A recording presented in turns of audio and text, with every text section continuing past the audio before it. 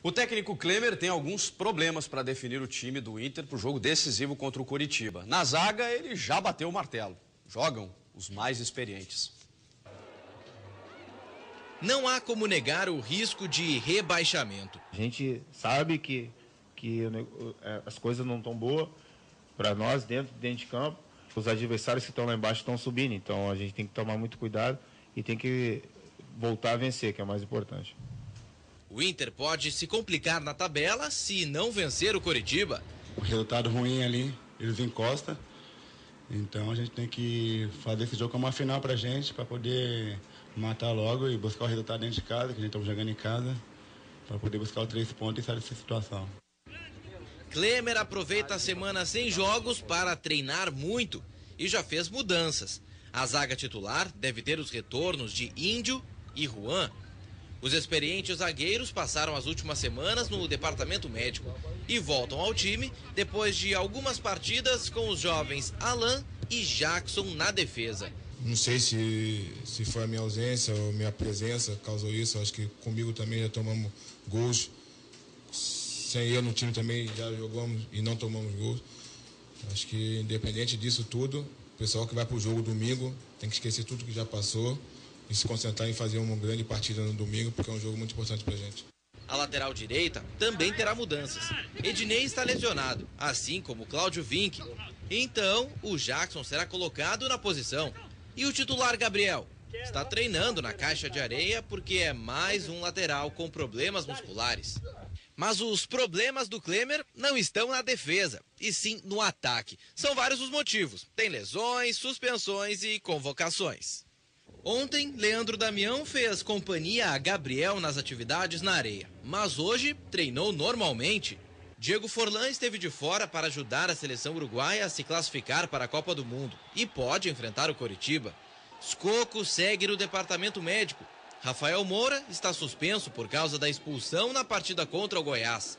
Caio, a princípio, é o único atacante que está 100% à disposição. Em meio a tantos problemas, alterações e busca por soluções, Klemer agradece o tempo livre para treinar. Carlos Della Rocha, repórter da Band, esteve Esse hoje no cara é bom, Twitter. hein? Muito Esse bom. sabe muito. Muito obrigado. bom. Eu quero saber quais são as mudanças que o Klemer está tá colocando, é, colocando os mais experientes na zaga, um esquema diferente. Isso, o, a começar, todas essas mudanças, a começar pelo Williams, que ontem, no treino de ontem, sim, tomou uma pancada no tornozelo direito, ficou fora do treino de hoje, pelo menos fora da, da atividade normal ali do coletivo. E o Klemer treinou uma espécie de esquema 4-1-4-1. Que é como joga o Bayern. É um esquema muito usado na Europa, principalmente, vamos dizer assim, um esquema É. do chamado futebol moderno, a gente pode dizer assim. Que tinha o João Afonso como primeiro volante. Que venceu o e depois... Bayern. É, pode ser. Calma. E depois uma, uma linha de quatro meias, formada pelo Alex, pelo Jorge Henrique, Otávio e D'Alessandro, com o Leandro Damião na frente treinando com bola. Isso é realmente um 4-1-4-1. Mas o Williams não joga, tá definido isso? Não, ainda não está definido, mas hoje ele estava fora do treino, era o que o Klemer tinha. Não, é uma dúvida testou. entre o Williams e o Alex. E Aí na a zaga, dúvida é essa. e na né? zaga, Desculpa, na eu zaga vi. mais uma vez, só para complementar a questão da, da escalação, na zaga praticamente confirmado o Juan e o Índio com o Jackson na lateral Eu direita. vi um esquema parecido com esse em um jogo, no primeiro tempo de um jogo, e eu não gostei, que foi contra o São Paulo, em que o Jorge Henrique fazia uma espécie de auxílio à marcação tendo apenas um volante. Lembra desse jogo? O jogo aqui no Centenário. Aqui no Centenário. Eu não gostei. Não gostei. Acho que Eu- precisa de um segundo volante. Perdeu eu 3 a acho, 2. eu acho que é, eu duvido. E só é essa escalação porque o Williams foi poupado, algo do gênero, né? Não tem como. É muito ofensivo. Não, não vai, ele não pode se expor. Por- Deixa eu ser bem claro. acho ofensivo, Não, não, gente. ele é, Ah, é ele é muito- ofensivo é porque ofensivo. o Alex não tem mais força para Mas marcar. tem o Jorge Henrique, né? Do jeito não, mas que o Jorge deveria. Henrique não consegue fazer essa função. Não, mas o Jorge Henrique pelo menos tem gás. Não, ele tem gás, só que é o gás. seguinte, ele não consegue fazer cobertura. Deixa eu dizer uma coisa para vocês. Interessantíssimo esse esquema. Torcedor do Inter, torcedor do Internacional. O empate é goleada, É um bom resultado. tá?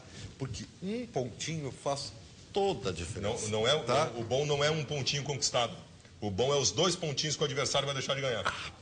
Olha, baldaço é impressionante. Vocês cara. querem que a gente saia? Então, então é isso aí. Então o Inter não pode tomar gol. Não Se vejo. fizer, beleza. Entendeu? Agora não pode tomar gol. Dito e feito isso, retranquinho, amigo. Não e... vejo, Não, não, não vejo esse, esse empate como resultado É, tão bom assim. é, eu acho que o Inter tem que Eu não ganhar, vejo esse né, resultado gente? empate, sabe O por Inter quê? tem que Porque o ganhar, empate Inter não é verdade. É verdade que o mais empate... Vai empate começar também. o jogo pensando em empatar? Não, né? Não, é verdade que o empate deixa o Curitiba, faz o Curitiba chegar no máximo a 42 e o Inter fica a 46, continua a mesma diferença. Mas com o Bahia, Fluminense ganhando, o próprio Flamengo ganhando, essa diferença pode. pode a, a questão da posição, o Inter pode ficar mais abaixo Mas não- e ainda tem dois jogos, sendo que um é mas, contra Cadu, o Corinthians fora mas de a, posi- casa. a posição não interessa. Interessa a distância do primeiro time rebaixado. Isso aí, é isso que vai aí. continuar Mas- sendo o Curitiba.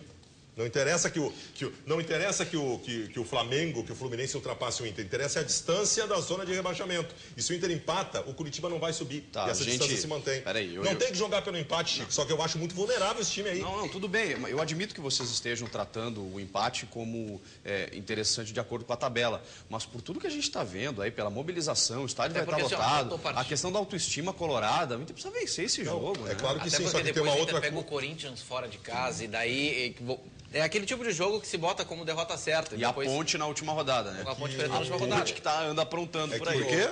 Depois eu É falo. que o Chico, é que tu está desconsiderando o principal, que é o com que o Inter está jogando.